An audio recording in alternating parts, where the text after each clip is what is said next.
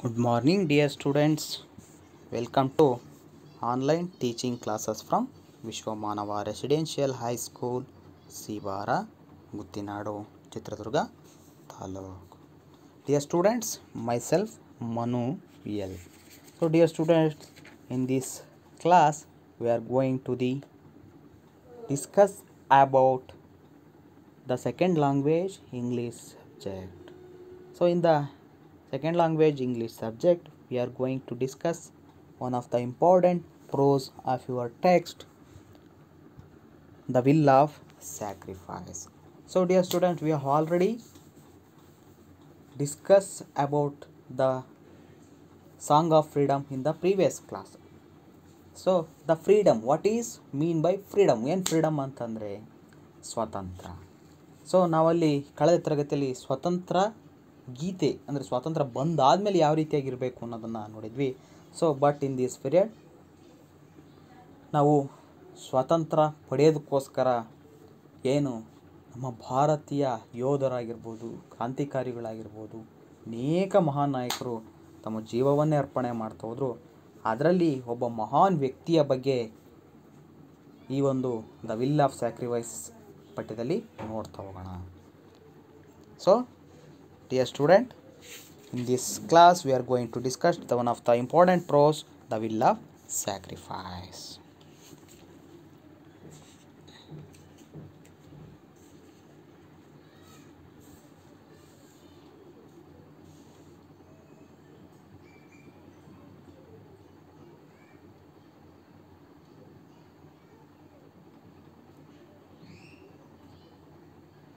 Yes, look at this picture ಈಗ ನೀವೆರಡು ಚಿತ್ರಗಳನ್ನು ನೋಡ್ತಾ ಹೋದ್ರಿ. ಹೌದಲ್ವಾ? ಸೊ ಹಾಗಾದರೆ ನಿಮ್ಗೆ ಗೊತ್ತಾಗಿರುತ್ತೆ, ಈ ಒಂದು ಪಾಠ ಯಾರಿಗೆ ಸಂಬಂಧಪಟ್ಟಿರೋದು ಅಂತ. Yes your guess is correct Bhagat Singh was one of the great revolutionary person we have have seen in our country ಅಂದರೆ ನಮ್ಮ ದೇಶ ಕಂಡಂತಹ ಪ್ರಮುಖ ಕ್ರಾಂತಿಕಾರಿಗಳಲ್ಲಿ ಇವರು ಅಗ್ರಸ್ಥಾನದಲ್ಲಿ ಕಂಡು ಬರ್ತಾರೆ ಅನ್ನುವಂಥದ್ದಕ್ಕೆ ಯಾವುದೇ ಎರಡು ಮಾತಿಲ್ಲ. ಸೊ ಇವರ ಒಂದು ವಿಷಯಕ್ಕೆ ಸಂಬಂಧಪಟ್ಟಂತೆ ಈ ಒಂದು ದ ವಿಲ್ಲಾಕ್ ಸ್ಯಾಕ್ರಿಫೈಸ್ ಪಾಠ ಇದೆ. ಸೊ ನೋಡ್ತಾ ಹೋಗೋಣ, ಏನಿದೆ ಈ ಪಾಠದಲ್ಲಿ ಅನ್ನೋದನ್ನು.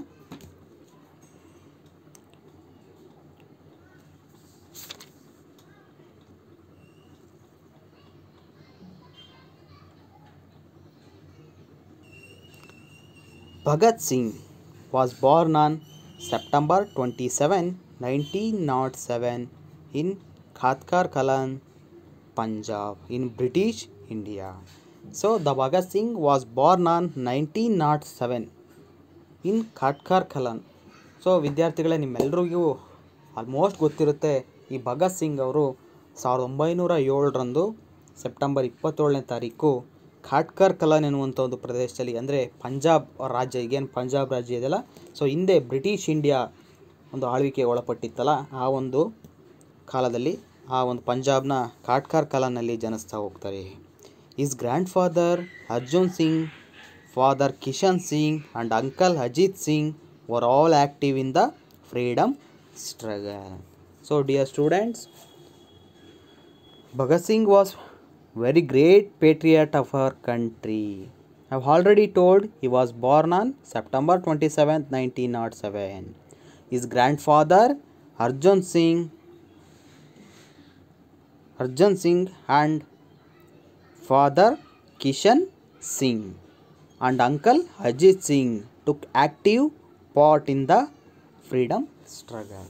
So ಈ ಒಂದು ಭಗತ್ ಸಿಂಗ್ ಅವರ ತಾತ ಗ್ರ್ಯಾಂಡ್ ಫಾದರ್ ಅಂದರೆ ಅವರ ತಾತ ಅರ್ಜತ್ ಸಿಂಗ್ ಅವರು, ಹಾಗೆ ಅವರ ತಂದೆ ಕಿಶನ್ ಸಿಂಗ್, ಹಾಗೆ ಅವರ ಚಿಕ್ಕಪ್ಪ ಅಜಿತ್ ಸಿಂಗ್ ಅವರು ಸಹ ಏನು ನಮ್ಮ ಭಾರತದ ಸ್ವಾತಂತ್ರ್ಯದ ಒಂದು ಏನು ಫ್ರೀಡಮ್ ಸ್ಟ್ರಗಲ್ ಅಂದರೆ ಪ, ಸ್ವಾತಂತ್ರ್ಯ ಪಡೆಯೋದಕ್ಕೋಸ್ಕರ ಏನು ಹೋರಾಟ ಮಾಡ್ತಿದ್ರಲ್ಲ, ಅವರಲ್ಲಿ ಇವರು ಮೂವರು ವ್ಯಕ್ತಿಗಳು ಸಹ ಗುರುತಿಸ್ಕೊಂಡಿರೋದನ್ನು ನಾವು ಕಾಣ್ತಾ ಹೋಗ್ಬೋದು. Young Bhagat Singh came in contact with some well known political leaders like Lala Lajpat Rai and Ras Bihari Bose while studying at the local DAV school in Lahore in 1916. In the response to Mahatma Gandhi's call for non cooperation against British rule in 1921, Bhagat Singh left his school and joined the National School at Lahore. This school was a center of revolutionary activities. Here he came in contact with revolutionaries such as Bhagavati Karan, Sukhdev, and others. He became a member of the Hindustan Republican Association formed by the revolutionaries of Uttar Pradesh. There he was initiated into, into their firebrand activities.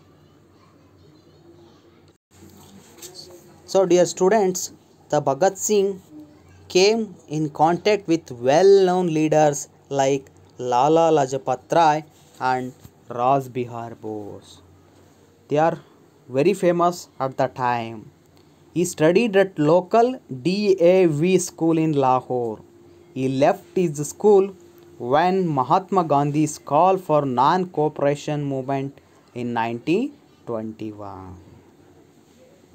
ಅಂದರೆ ವಿದ್ಯಾರ್ಥಿಗಳೇ ಏನು ಈ ಭಗತ್ ಸಿಂಗ್ ಅವರು ಒಂದು ಚಿಕ್ಕ ವಯಸ್ಸಿನಲ್ಲೇ ಏನು ಕ್ರಾಂತಿಕಾರಿಗಳು ಸ್ವಾತಂತ್ರ್ಯ ಹೋರಾಟಗಾರರಲ್ಲಿ ತಮ್ಮನ್ನು ತಾವು ತೊಡಗಿಸ್ಕೊಂಡಂಥ ಗ್ರೇಟ್ ಲೀಡರ್ ಆಗಿರುವಂತಹ ಲಾಲಾ ಲಜಪತ್ ರಾಯ್ ಅವರು ಹಾಗೂ ರಾಜ್ ಬಿಹಾರಿ ಬೋಸ್ ಇವರ ಒಂದು ಕಾಂಟ್ಯಾಕ್ಟ್ ಅಂದರೆ ಅವರ ಒಂದು ಸಂಪರ್ಕದಲ್ಲಿ ಇವರು ಇರ್ತಾರೆ ಯಾವಾಗಪ್ಪ ಅಂತಂದರೆ ಅದು ಅವರು ಸ್ಟಡಿ ಮಾಡುವಂಥ ಸಮ್ ಡಿ ಎ ವಿ ಸ್ಕೂಲಲ್ಲಿ ಸ್ಟಡಿ ಮಾಡುತ್ತಿರುವಂಥ ಅದು ಲಾಹೋರಲ್ಲಿದೆ. ಈಗ ಲಾಹೋರ್ ಅಟ್ ಪ್ರೆಸೆಂಟ್ ಪಾಕಿಸ್ತಾನದಲ್ಲಿದೆ. ಸೊ ಅದು ಯಾವ ಇಸ್ವಿ ಅಪ್ಪ ಅಂದರೆ ಸಾವಿರದ ಒಂಬೈನೂರ ಹದಿನಾರರ ಇಸ್ವಿ. ಅಂದರೆ ಸುಮಾರು ಅವ್ರು ಸಾವಿರದ ಒಂಬೈನೂರ ಏಳರಲ್ಲಿ ಜನಿಸಿದ್ರಪ್ಪ ಅಂತಂದರೆ ಸಾವಿರದ ಒಂಬೈನೂರ ಹದಿನಾರು ಅಂದರೆ ಸುಮಾರು ಎಂಟು ಒಂಬತ್ತರಿಂದ ಹತ್ತು ವರ್ಷದ ಒಂದು ಸಂದರ್ಭದಲ್ಲಿ. So on the time Mahatma Gandhi call for non cooperation movement ಅಂದರೆ ಆ ಒಂದು ಸಂದರ್ಭದಲ್ಲಿ ಮಹಾತ್ಮ ಗಾಂಧೀಜಿಯವರು ಇಡೀ ಭಾರತದಲ್ಲಿ ಒಂದು ಮುಖ್ಯವಾದಂಥ ಚಳುವಳಿಯನ್ನು ಪ್ರಾರಂಭ ಮಾಡಿದರು.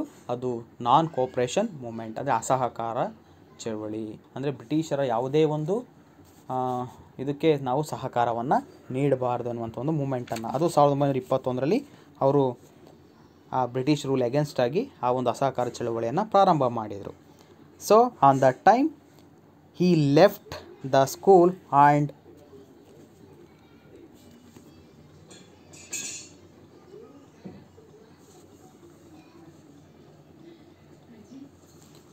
and joined the national school at Lahore ಅವರು ಆ ಪ್ರಸ್ತುತ ಡಿ ಎ ವಿ ಸ್ಕೂಲನ್ನು ಬಿಟ್ಬಿಟ್ಟು ಏನು ನ್ಯಾಷನಲ್ ಸ್ಕೂಲ್ ಲಾಹೋರಲ್ಲಿರುವಂಥ ಶಾಲೆಗೆ ಅವರು ಜಾಯಿನ್ ಆಗ್ತಾ ಹೋಗ್ತಾರೆ. In the school he came in contact with revolutionaries such as Bhagwati Charan Sukhdev and others so ಆ ಒಂದು ಸಂದರ್ಭದಲ್ಲಿ, ಆ ಶಾಲೆಗೆ ಸೇರಿದಂಥ ಸಂದರ್ಭದಲ್ಲಿ ಇನ್ನೂ ಅನೇಕ ವ್ಯಕ್ತಿಗಳ ಒಂದು ಸಂಪರ್ಕ ಅವರಿಗೆ ಸಿಗ್ತಾ ಹೋಗುತ್ತೆ. ಅವ್ರು ಯಾರ್ಯಾರಪ್ಪ ಅಂತಂದರೆ ದ ಗ್ರೇಟ್ ರೆವಲ್ಯೂಷನರೀಸ್ ಅಂದರೆ ಪ್ರಮುಖ ಕ್ರಾಂತಿಕಾರಿಯಾಗಿರುವಂಥ ಭಗವತಿ ಕರಾನ್ ಅನ್ನುವಂಥವರು ಸುಖದೇವ್. ಸೊ ಇವರು ಇವರ ಮುಂದೆ ಇವ್ರ ಜೊತೆಗೆ ತುಂಬ ಕಾಲ ಸಮಯವನ್ನು ಕಳೀತಾ ಹೋಗ್ತಾರೆ. ಆ್ಯಂಡ್ ಇನ್ನೂ ಅನೇಕರ ಸಂಪರ್ಕಕ್ಕೆ ಇವ್ರು ಬರ್ತಾ ಹೋಗ್ತಾರೆ. And next he become member of Hindustan ರಿಪಬ್ಲಿಕ್ಕೆ republican associate and here he was initiated into their firebrand activities so ಆ ಒಂದು ಸಂದರ್ಭದಲ್ಲಿ ಇವರು ಹಿಂದೂಸ್ತಾನ್ ರಿಪಬ್ಲಿಕನ್ ಅಸೋಸಿಯೇಷನ್ನ, ಅಂದರೆ ಏನು ರೆವಲ್ಯೂಷನರಿಗಳು ಉತ್ತರ ಪ್ರದೇಶದಲ್ಲಿ ಪ್ರಾರಂಭ ಮಾಡಿದಂತಹ ಈ ಒಂದು ಸಂಘಕ್ಕೆ ಅವರು ಒಬ್ಬ ಮೆಂಬರಾಗಿ ಸದಸ್ಯನಾಗಿ ಸೇರ್ಕೊಳ್ತಾ ಹೋಗ್ತಾರೆ. ಸೊ, ಅಲ್ಲಿ ಸೇರಿದಾಗಳಿಂದ ಅವರೇನು ನಮ್ಮ ಭಾರತದ ಒಂದು ಸ್ವತಂತ್ರದ ಹೋರಾಟಕ್ಕೋಸ್ಕರ, ಹೋರಾಟಕ್ಕಾಗಿ ಅಧಿಕೃತವಾಗಿ ಅವರು ಅವರು ತೊಡಸ್ಕೊಳ್ಳೋದಕ್ಕೆ ಪ್ರಾರಂಭ ಮಾಡ್ತಾರೆ. ಮೊದಲ ಹೆಜ್ಜೆಯನ್ನು ಅವರು ಇಡ್ತಾ ಹೋಗ್ತಾರೆ. There he was initiated into their firebrand actives ಅಲ್ಲಿಂದ ಅವರ ಒಂದು ಭಾರತದ ಸ್ವತಂತ್ರಕ್ಕೋಸ್ಕರ ಕೈಗೊಳ್ಳುವಂಥ ಅನೇಕ ಚಟುವಟಿಕೆಗಳು ಪ್ರಾರಂಭವಾಗ್ತವೆ ಎನ್ನುವಂಥದ್ದು. The revolutionaries were branded as terrorist by the British government they believed that the British rule was unjust and oppressive therefore it was legitimate on their part to use violence as a weapon to overthrow the foreigners. They used bombs and guns against the British and robbed their establishments. Their ideas different from the Gandhian idea of a freedom movement based on non-violence or ahimsa.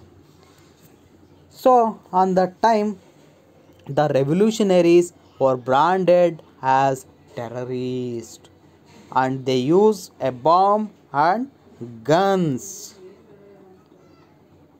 against the british and robbed their establishments so they believed that the british rule was unjust and oppressive it was legitimate on their part to use violence as a weapon to overthrow the foreigners. So ಆ ಒಂದು ಸಂದರ್ಭದಲ್ಲಿ ಬ್ರಿಟಿಷರು ಈ ರೆವಲ್ಯೂಷನರೀಸ್ನ ಯಾವ ರೀತಿಯಾಗಿ ನೋಡ್ತಿದ್ರಪ್ಪ ಅಂದರೆ ಟೆರರಿಸ್ಟ್ಗಳು ಅಂದರೆ ಉಗ್ರವಾದಿಗಳು ಅಥವಾ ಭಯೋತ್ಪಾದಕರು ಅಂತ ಹೇಳ್ಬಿಟ್ಟು ಕರೆದ್ಬಿಟ್ಟು ಅವ್ರನ್ನ ಆ ರೀತಿಯ ನೋಡ್ಕೊಳ್ತಾ ಇದ್ರು. ಸೊ ಈ ಕ್ರಾಂತಿಕಾರಿಗಳು ಏನು ಮಾಡ್ತಿದ್ರಪ್ಪ ಅಂದರೆ ಆ ಬ್ರಿಟಿಷ್ ಆಡಳಿತದ ಒಂದು ಅನ್ಯಾಯ, ದಬ್ಬಾಳಿಕೆ ವಿರುದ್ಧ ಇವರು ದಂಗೆಯನ್ನು ಎದ್ದ ಹೇಳ್ತಾ ಹೋಗ್ತಾರೆ. ಸೊ ಅವುಗಳ ಒಂದು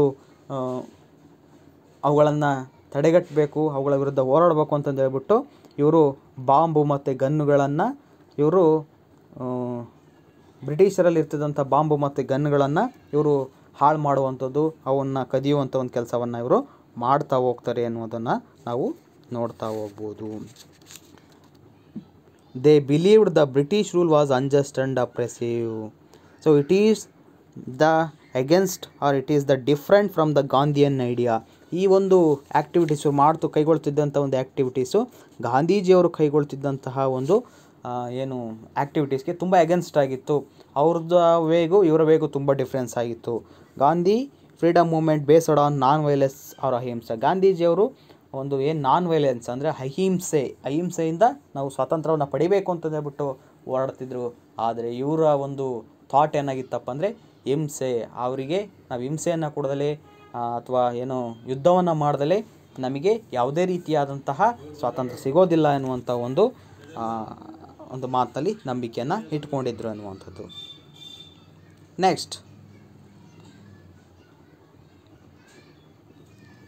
Bhagat Singh is remembered today not only as a bold revolutionary figure but also a great thinker.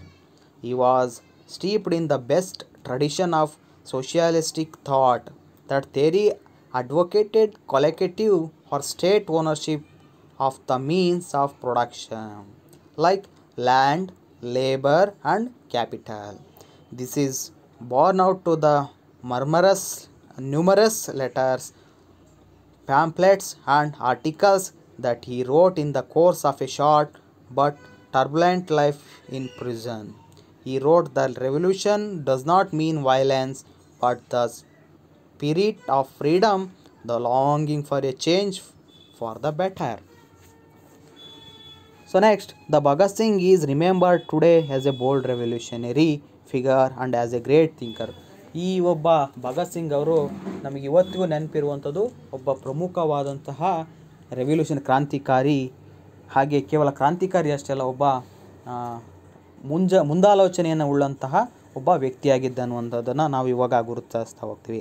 According to him revolution means the spirit of freedom the longing for a change for the better so ಇವ್ರು ಏನು ಮಾಡ್ತಿದ್ರಪ್ಪ ಅಂತಂದರೆ, ಆ ಒಂದು ಬ್ರಿಟಿಷರ ಪ್ರತಿಯೊಂದು rules ರೆಗ್ಯುಲೇಷನ್ಸ್ಗಳನ್ನ ಇವ್ರು ಏನು ಮಾಡ್ತಾಯಿದ್ರು ಇವರು ಅಪೋಸ್ ಮಾಡ್ತಾಯಿದ್ರು ಸೊ ಅದು ಏನು ಒಂದು ಉದ್ಯೋಗದಲ್ಲಿ ತಾರತಮ್ಯತೆಯನ್ನಾಗಿರ್ಬೋದು, ಅಥವಾ ಒಂದು ಭೂಮಿಯ ಒಂದು ಹಕ್ಕುದಾರಿಕೆಯಲ್ಲಾಗಿರ್ಬೋದು, ಹಾಗೆ ರಾಜ್ಯಗಳ ವಿಂಗಡಣೆಯನ್ನು ಮಾಡೋದರಲ್ಲಾಗಿರ್ಬೋದು, ಹೀಗೆ ಅನೇಕ ಒಂದು ವಿಚಾರಗಳಿಗೆ ಬ್ರಿಟಿಷರು ತಮ್ಮದೇ ಆದಂಥ ರೂಲ್ಸ್ಗಳನ್ನು ಮಾಡಿಕೊಂಡು ನಮ್ಮ ಭಾರತದ ವಿರುದ್ಧ ಏನು ದಬ್ಬಾಳಿಕೆ ಮಾಡ್ತಿದ್ರು, ಅವೆಲ್ಲವುಗಳ ವಿರುದ್ಧ ಇವರು ಹೋರಾಡೋದಕ್ಕೆ ಅವೆಲ್ಲವುಗಳನ್ನು ಇವರು ಏನು ಮಾಡ್ತಾಯಿದ್ರು ಪ್ರಶ್ನೆ ಮಾಡ್ತಾಯಿದ್ರು ಈ ರೀತಿ ಮಾಡೋ ಹಾಗಿಲ್ಲ, ಹಾಗೆ ಹೀಗೆ ಅಂತಂದೇಳ್ಬಿಟ್ಟು ಸೊ ಆ ರೀತಿ ಮಾಡೋದ್ರಿಂದ ಅವ್ರನ್ನ ಏನು ಮಾಡ್ತಾ ಹೋಗ್ತಾರಪ್ಪ ಅಂತಂದರೆ, ಜೈಲಿಗೆ ಹಾಕ್ತಾ ಹೋಗ್ತಾರೆ ಎನ್ನುವಂಥ ಒಂದು ದೃಶ್ಯವನ್ನು ನಾವು ಅಥವಾ ಒಂದು ಸಂಗತಿಯನ್ನು ನಾವು ತಿಳ್ಕೊಳ್ತಾ ಹೋಗ್ಬೋದು. ಅವರು ಕೇವಲ ಜೈಲಿಗೆ ಹೋದ ತಕ್ಷಣ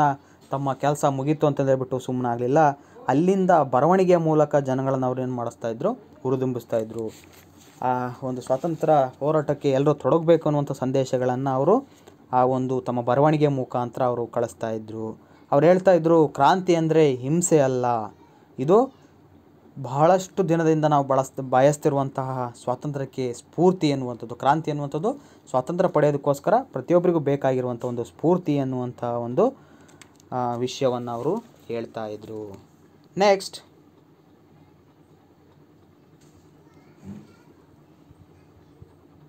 The incident that brought a total change in the life of Bhagat Singh was the brutal attack by the police or veteran, veteran freedom fighter Lala Lajpat Rai at the anti British procession. It resulted in the death of Lala La- Lal Lajpat Rai on November 17, 1928, in Lahore. Bhagat Singh determined to avenge Lal Lajpat Rai's death by shooting the British official responsible for the killing. Deputy Inspector General Scott he shot down Assistant Superintendent Saunders instead. Mistaking him for Scott, he threw bombs in the Central Assembly Hall while the assembly was in session. The bombs did not hurt anyone, but the noise they made was loud enough to wake.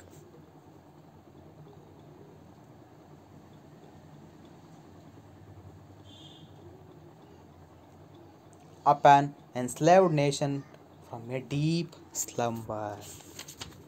So, at the time Lala Lajpat Rai died an anti-British procession on 17th November 1928. It is the major transparent or it is major changed lifestyle of Bhagat Singh. So he took he take the revenge. Bhagat Singh shot and killed the Deputy Inspector General Scott. He threw bombs in the Central Assembly Hall while the assembly was in session. But there is nobody was hurt, but the sound woke up an enslaved nation from a deep sleep. ಅಂದರೆ ಒಂದು ಭಗತ್ ಸಿಂಗ್ ಅವರ ಜೀವನದಲ್ಲಿ ಉಂಟಾದಂಥ ದೊಡ್ಡ ಬದಲಾವಣೆ ಒಂದು ದೊಡ್ಡ ತಿರುವು ಏನಪ್ಪ ಅಂತಂದರೆ ಏನು ಬ್ರಿಟಿಷ್ ಅಧಿಕಾರಿಗಳು ನವೆಂಬರ್ ಹದಿನೇಳು ಸಾವಿರದ ಒಂಬೈನೂರ ಇಪ್ಪತ್ತೆಂಟರಂದು ಲಾಲಾ ಲಜಪತ್ ರಾಯ್ ಅವರನ್ನು ತುಂಬ ಕ್ರೂರವಾಗಿ ಕೊಲ್ತಾ ಹೋಗ್ತಾರೆ. ಆ ಒಂದು ಸಂದರ್ಭದಲ್ಲಿ ಅವರ ಸಾವಿಗೆ ಪ್ರತೀಕಾರವನ್ನು ತೀರಿಸ್ಕೊಳ್ಳೋದಕ್ಕೋಸ್ಕರ ಈ ಭಗತ್ ಸಿಂಗ್ ಹಾಗೂ ಅವರ ಸ್ನೇಹಿತರು ಡೆಪ್ಯೂಟಿ ಇನ್ಸ್ಪೆಕ್ಟರ್ ಜನರಲನ್ನು ಶೂಟ್ ಮಾಡ್ತಾರೆ. ಹಾಗೆ ಸೆಂಟ್ರಲ್ ಅಸೆಂಬ್ಲಿ ಹಾಲ್ ಮೇಲೆ ಸೆಷನ್ಸ್ ನಡೀತಿರಬೇಕಾದ್ರೆ ಬಾಂಬನ್ನು ಎಸೆತಾ ಹೋಗ್ತಾರೆ.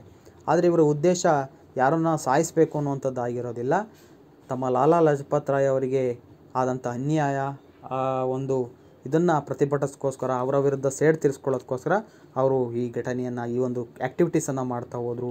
ಇವರು ಮಾಡಿದಂಥ ಒಂದು ಏನು ಈ ಆ್ಯಕ್ಟಿವಿಟೀಸು ಇಡೀ ಭಾರತದ ಜನತೆ ಏನು ಮಲಗಿತ್ತು ಎಬ್ಬರಿಸಿ ಮಲಗಿತ್ತು ಅಂದರೆ ನಿದ್ದೆಯಿಂದ ಮಲಗಿರೋಂಥದ್ದಲ್ಲ ಸ್ವಾತಂತ್ರ್ಯ ಪಡ್ಕೊಳ್ಬೇಕು ಅನ್ನೋ ಒಂದು ಭಾವನೆಯನ್ನು ಮರೆತುಬಿಟ್ಟು ಏನು ಮಲಗಿದ್ರಲ್ಲ, ಆ ಒಂದು ಸ್ವಾತಂತ್ರ್ಯ ಪಡ್ಕೋಬೇಕು ಎನ್ನುವಂಥ ಒಂದು ಸಂದೇಶವನ್ನು ಮುಖಾಂತರ ಅವ್ರನ್ನ ಎಬ್ಬಿಸ್ತಾ ಹೋಯಿತು ಅನ್ನೋದನ್ನು ನಾವು ಇಲ್ಲಿ ನೋಡ್ತಾ ಹೋಗ್ಬೋದು.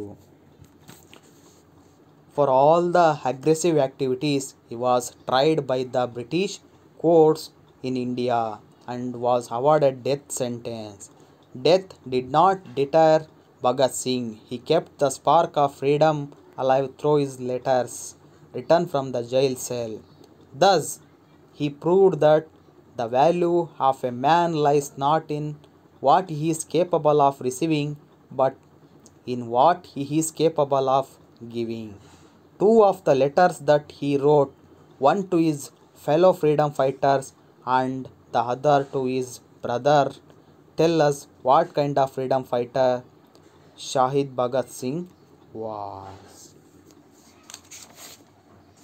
So next, Bhagat Singh made many aggressive activities. So uh, for that activities, he was awarded death sentence. He kept the struggle for freedom alive. So on that time, he wrote two letters from the jail. He proved that the value of a man lies not in what he is capable of receiving, but in what he is capable of giving. ಅಂದರೆ ಈ ಒಂದು ಭಗತ್ ಸಿಂಗ್ ಅವರು ಮಾಡಿದಂಥ ಈ ಒಂದು ಕ್ರಾಂತಿಕಾರಿ ಘಟನೆಗಳಿಂದ ಬ್ರಿಟಿಷರು ಅವರನ್ನು ಬಂಧಿಸ್ತಾ ಹೋಗ್ತಾರೆ ಅವನು ಅವರ ಸಹಚರರಿಗೆ ಗಲ್ಲು ಶಿಕ್ಷೆಯನ್ನು ವಿಧಿಸ್ತಾ ಹೋಗ್ತಾರೆ ಅನ್ನೋದನ್ನು ನಾವಿಲ್ಲಿ ಕಾಣ್ತಾ ಹೋಗ್ಬೋದು. ಸೊ ಆ ಒಂದು ಗಲ್ಲು ಶಿಕ್ಷೆಯನ್ನು ವಿಧಿಸಿದ್ರು ಅಂದ ತಕ್ಷಣ ಅವರು ಯಾವುದೇ ರೀತಿಯಾಗಿ ಎದೆಗುಂದಲಿಲ್ಲ, ಹೆದರಲಿಲ್ಲ, ಜೈಲಿನಲ್ಲಿ ಬಂದಿಯಾಗಿತ್ಕೊಂಡೆ ಅವ್ರು ಏನು ಮಾಡ್ತಾ ಹೋದ್ರಪ್ಪ ಅಂತಂದರೆ ತಮ್ಮ ಬರವಣಿಗೆಯ ಮುಖಾಂತರ ಭಾರತದ ಸ್ವತಂತ್ರ ಕಿಡಿಯನ್ನು ಹಚ್ಚುತ್ತಾ ಹೋದರು. ಸೊ ಅವರು ಪ್ರಮುಖವಾಗಿ ಎರಡು ಪತ್ರಗಳನ್ನು ಬರಿತಾ ಹೋಗ್ತಾರೆ. ಅದರಲ್ಲಿ ಅವರು ಒಂದು ಮುಖ್ಯವಾದಂಥ ಒಂದು ವಾಕ್ಯವನ್ನು ಹೇಳ್ತಾ ಹೋಗ್ತಾರೆ, ಮನುಷ್ಯನ ಬೆಲೆ ಗೊತ್ತಾಗುವುದು, ಅವನು ಏನು ಪಡೆದ ಎಂಬುದರಲ್ಲ ಏನು ಕೊಟ್ಟ ಎಂಬುವಂಥ ಒಂದು ಅದರಲ್ಲಿ. ನೋಡಿ, ಎಷ್ಟು ವ್ಯಾಲ್ಯೂ ಇದೆ ಆ ಒಂದು ಪದಕ್ಕೆ. ಎಷ್ಟು ಅರ್ಥಗರ್ಭಿತವಾಗಿದೆ. ಅಂದರೆ ಒಬ್ಬ ಮನುಷ್ಯ ಅವನ ಬೆಲೆ ಬದುಕಿದ್ದಾಗಿರ್ಬೋದು ಸತ್ತಾಗಿರ್ಬೋದು ತಿಳಿಯುವಂಥದ್ದು, ಒಬ್ಬ ಮನುಷ್ಯನ ಬೆಲೆ ಸಿಗುವಂಥದ್ದು ಅಥವಾ ಗೊತ್ತಾಗುವಂಥದ್ದು ಬೇರೆಯೊಬ್ಬರಿಗೆ ಅವನು ಏನನ್ನು ಪಡೆದ, ಅಂದರೆ ಏನನ್ನು ಪಡ್ಕೊಂಡ, ಗಳಿಸ್ಕೊಂಡ ಅನ್ನೋದರಲ್ಲಿ ಅಲ್ಲ. ಅವನು ಏನನ್ನು ಕೊಟ್ಟ. ಸೊ ಇಲ್ಲಿ ಅವರು ನಮ್ಮ ದೇಶಕ್ಕೆ ನಾವೇನು ಕೊಡುಗೆಯನ್ನು ಕೊಡ್ತೀವಿ, ಅದು ನಮ್ಮನ್ನು ಎತ್ತರದ ಸ್ಥಾನಕ್ಕೆ ನಿಲ್ಲಿಸುತ್ತೆ ಅನ್ನುವಂತಹ ಒಂದು ವಾಕ್ಯವನ್ನು ಅವರು ಆ ಪತ್ರದಲ್ಲಿ ಮೆನ್ಷನ್ ಮಾಡ್ತಾ ಹೋಗ್ತಾರೆ. ಹಾಗೆ ಆ ಎರಡು ಪತ್ರಗಳಲ್ಲಿ ಅವರ ಒಂದು ಸ್ವಭಾವ, ಅವರ ಪರ್ಸನಾಲಿಟೀಸನ್ನು ನಾವು ತಿಳ್ಕೊಳ್ತಾ ಹೋಗ್ಬೋದು. ಸೊ ಆ ಎರಡು ಪತ್ರಗಳಲ್ಲಿ ಒಂದು ತಮ್ಮ ಒಂದು ಅನುಯಾಯಿಗಳು ಫ್ರೀಡಮ್ ಫೈಟರ್ಸ್ ಏನಿದ್ರೆ ಅವ್ರಿಗೆ ಬರಿತಾ ಹೋಗ್ತಾರೆ, ಇನ್ನೊಂದು ಅವರ ಜೊತೆಗಾರ ಅಥವಾ ಅವರ ಅಣ್ಣನಿಗೆ ಬರಿತಾ ಹೋಗ್ತಾರೆ. ಏನಪ್ಪ ಅಂದರೆ ಭಗತ್ ಸಿಂಗ್ ಅಂದರೆ ಯಾರು ಎನ್ನುವಂಥ ಒಂದು ವಿಚಾರವನ್ನು ಆ ಎರಡು ಪತ್ರಗಳಲ್ಲಿ ತಿಳಿಸ್ತಾ ಹೋಗ್ತಾರೆ. ಸೊ ಆ ಎರಡು ಪತ್ರಗಳಲ್ಲಿ ಏನಿದೆ ವಿಷಯ ಅನ್ನೋಂಥದ್ದನ್ನು ನಾವು ನೆಕ್ಸ್ಟ್ ಕ್ಲಾಸಲ್ಲಿ ನೋಡ್ತಾ ಹೋಗೋಣ. So what is the matter instead of that those two letters in next class so I hope you are all understand today's prose